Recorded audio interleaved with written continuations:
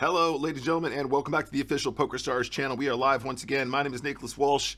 I will be your host for today, and we are playing Spin and Goes all day today. It's Tuesday. It's the Central Channel. It's me. You guys know what I do now at this point. I play Spin and Goes. That's kind of my it's kind of my jam.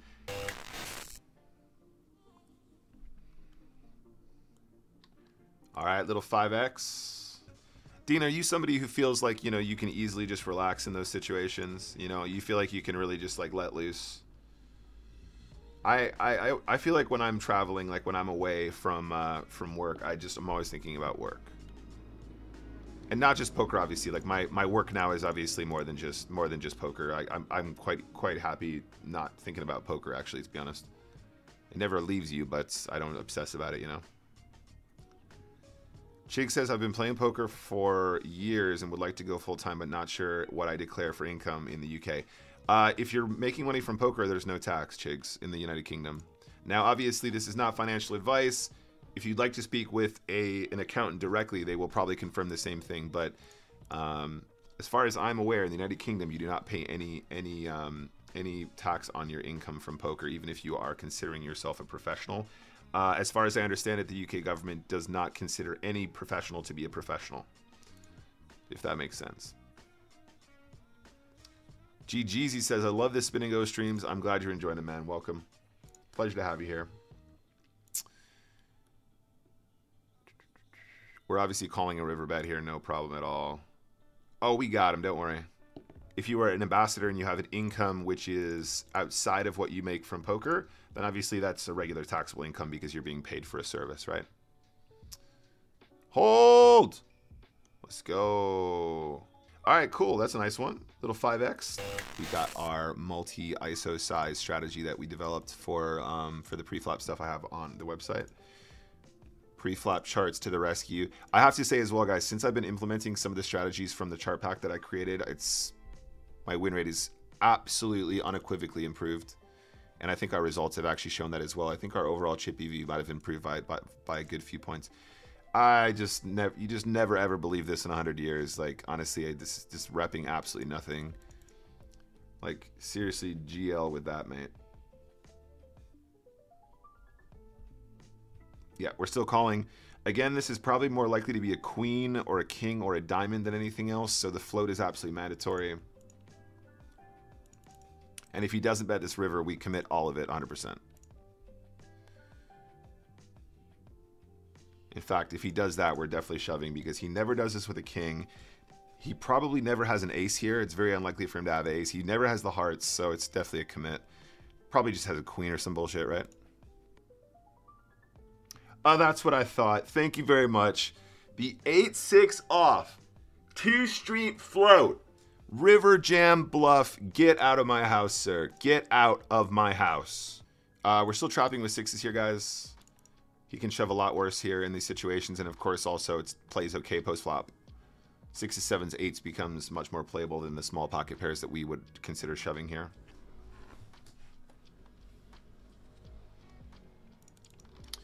Yeah, XU, I haven't heard about that specifically, but also I think people overestimate, like, I think people grossly overestimate how much, how much actual additional um, benefit that gives you, right? Because how many, how many times have you seen me playing Okay, I think we still have to go broke here, guys. He could just turn up here with a 7. And, you know, that'll be... All of our cool bluffs will be for nothing. But he will check raise here with diamonds. He will also check raise here with a 3 or a deuce. So we kind of have to commit and hope for the best when we've, when we've, uh, when we've underrepresented our hand in the situation. Yeah, exactly. It's really important that if we c-bet this board, we are aware that our opponents will panic with smaller pairs, diamonds, complete bluffs, Sometimes they'll have a seven there, of course, and all that good stuff. But in that situation, we need to be brave and understand, you know, what kind of a range he's going to do that with. So very well played there from us. Pretty much, pretty much a perfect game. That was actually very, very good.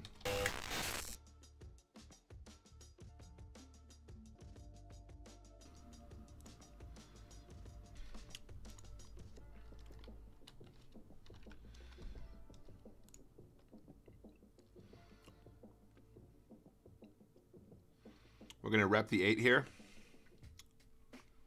We're going to rep the 8, guys. Wish me luck.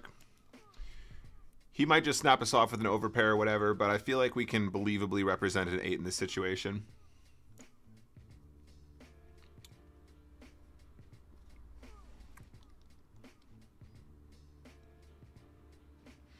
Level 24 says, these streams are plus EV for me. Thanks, Nick. I appreciate that, man. Thank you so much for your kind words. It really means a lot to me. I really try and make stuff that you guys is going to be good for you guys and useful for you guys. So that's uh, it's very important. And now I don't want to say that was an amazing play. Need to look at the push folds. Uh, against a reg again, queen six is a slam dunk push.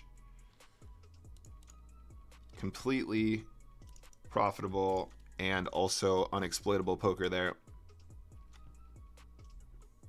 Jack 10, 100% push here for sure against reg. This is kind of one of the reasons why I don't want to play higher stakes generally on stream, guys. Like, uh, part of the reason why I play lower stakes in general on stream is because most people are playing these stakes, so it's more relevant for the players that you're going to play if you see this content. But on top of that as well, like if I were to play two regs in every game uh, that we play, it's just going to be a lot of this like late game standard push fold stuff, right? There's like very little nuance to to well, there's still a lot of nuance, but the nuance is often lost on most players. Things check fine here. The limp of that stack depth is a little bit suspicious, but queen nine is definitely good enough to play from out of position, no problem.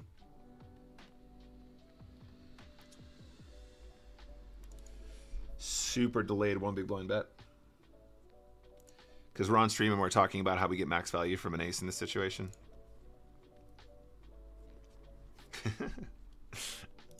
this guy's probably playing like four tables and we're just here talking about like all this bullshit. all right, we got him in the box, guys. We got him in the box. Send him home. Send him home. Let's go. 50 bucks in the bag. Let's get King 7-0 clubs. Did we ever check raise this texture? That's an interesting question. Probably not. Maybe, actually. Hmm. We could just, we could mix one in here. I think this is kind of interesting. Something about this flop is telling me to check raise. Every once in a while, we'll throw one of those in there. Just mix it up. I think very frequently we don't know. We just flat. Uh, interesting texture here. I think we check flop with jack high. Backdoor diamonds, backdoor straight draws feels good. Ooh, sometimes we turn top pair. If he has a 10, a deuce, or a 4, he should probably always call the full pot turn. Clubs sometimes as well. Nice, got even now. Yeah. Yeah, there are leaderboards sometimes, but it also depends on your location, so look it up first, Nasty, because, um... full pot turn. Um make sure you look it up first because there are certain regions where the government restrictions will not allow stars to run um, those for you. I think we check. We still have to call pretty much any bet on the river because they will still have be bluffing miss spades. They'll be bluffing miss spades sometimes. Um, sometimes they just have like ace high, king high floats that they turn into bluffs. This is such a weird one, you guys. I think we still have to call. Sometimes he'll just have a deuce. Sometimes he'll have an eight. I think a lot of his eights bet the flop though.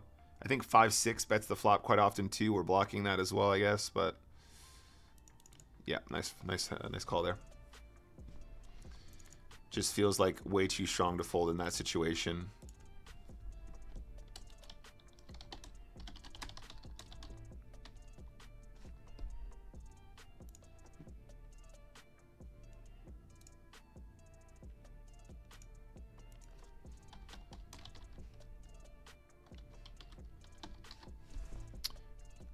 Very, very clean, guys. Obviously, that call is just so good because he overbet jams in that situation. I don't hate the line.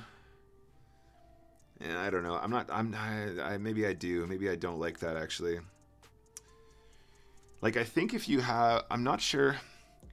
If he does that as a bluff and he does that with the deuce, then obviously it's balanced. But he's not gonna not gonna have a deuce an overwhelming amount of the time. But yeah, very good game from us there. Really, really like that one. Oh my god. Look at the flop.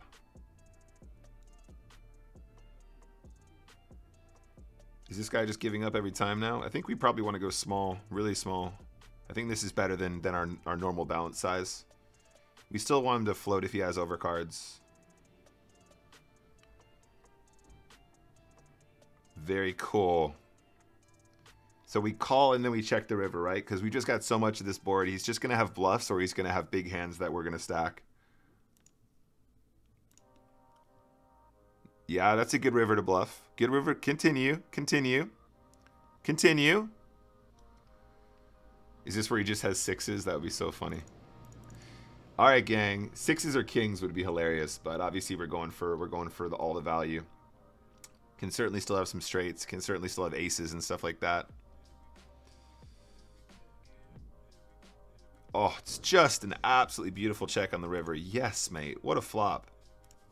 Nasty Flame, thank you. That's very kind of you to say. I'm glad you're enjoying the stream.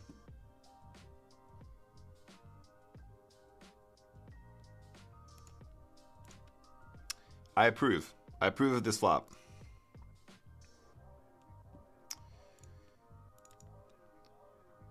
So this will be 19. Yeah, this is an easy bet on the turn. I think smaller is better, actually. 4.7 is my size.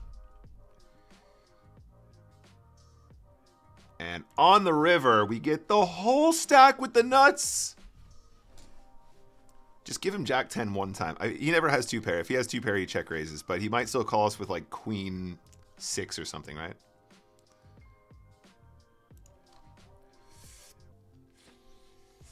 Technically speaking, if he shoves here, we're supposed to call. I think given the fact that this is a 2x multiplier, we're going to make the call here. He will still shove hands like 8-7 suited here. He'll still, still shove like 9-10. He'll shove 6-5 suited, that kind of a thing as well. Two live cards against that combo is fine. GG. All right, we have a game. It's just the 2x multiplier, but we're going to try and get lucky here, gang, guys. Uh, both of these guys are, are pretty much confirmed regs, I think, at this point. So this is not a good setup for us here, I'm afraid.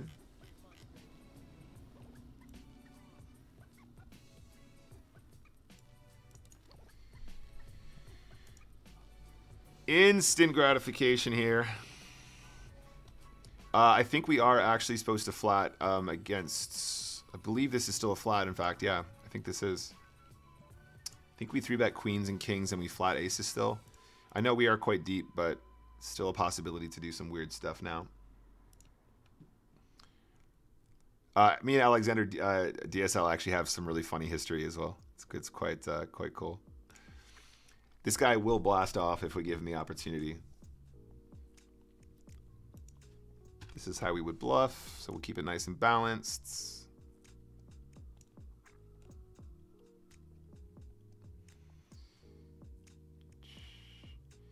And then we commit the rest. If he has a nine, good luck to him. It's all good. But uh, I know this guy doesn't give me a ton of credit, and actually that's another reason why playing aces like this is so interesting.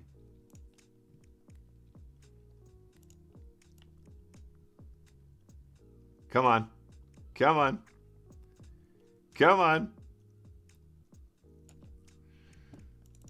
Nice.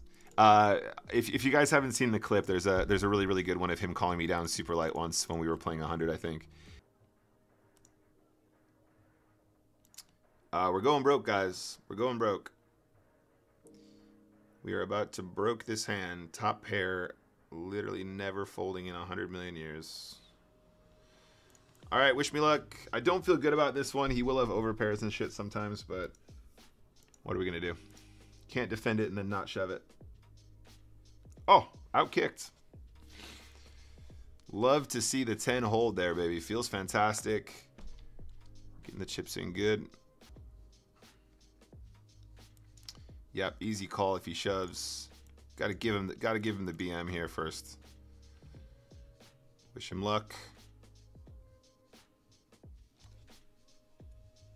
200 US dollars in the bank. Another very clean game from us as well. Thank you very much for uh, for hanging around. Make sure you check out the website and all that good stuff. And I will see you guys back here tomorrow for more Spin and Go action from 2 p.m. onwards as usual. Uh